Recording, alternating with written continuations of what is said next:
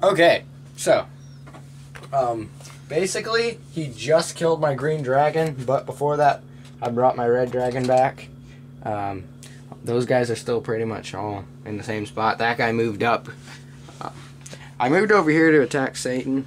Uh, I didn't kill him. Then this piece of poop um, killed my green dragon, and he retreated like coward, coward all the way back here, and I killed all of these people.